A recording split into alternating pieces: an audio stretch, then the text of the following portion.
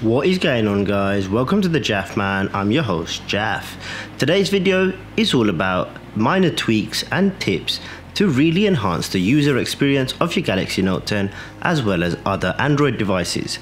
First thing I like to do always is unlock developer options, this option here, which gives you a ton of features and tweaks. To do this, go to about phone, go to build number and tap it a bunch of times until it says developer options developer options have been unlocked.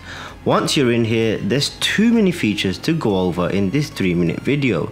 It probably deserves its own video but some of the useful settings I really want to go over with you guys that can really help enhance your user experience. So the first thing is first we're gonna turn on mobile data is always active this ensures that when you're switching between Wi-Fi and mobile data, there is no loss of connection at any time. Secondly, we're gonna go into Bluetooth codecs and choose select all of them. Thirdly, to really speed up the zippiness and how your phone feels, especially on One UI, which is a Samsung skin over stock Android, I like to turn animation scales off.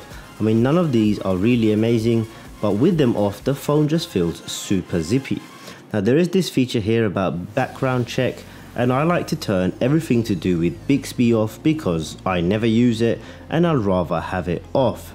You can also limit background processes, but I haven't really messed around with that. Now one great thing Samsung really listened to is allowing the users to customize their side key. And now you can finally disabled Bixby, well we don't have a Bixby button anyways, although I preferred the Bixby button, you can assign it to any app on a double press. I like to leave it on quick launch camera, press and hold for power options instead of going through the software. Now another thing that you might want to do is enable night mode. You see with night mode or especially on AMOLED displays the pixels turn off because everything that you see in white right now would be black and that always goes towards saving strain on your eyes and saving battery power and I just find it less jarring especially at night time and I'm kind of used to using it like this 24 7 since this feature has been available anyways. Now whilst we're talking of night mode you can also do this on YouTube. Go into YouTube, go to um, your account, go to general and then you can see there's an option for a dark mode.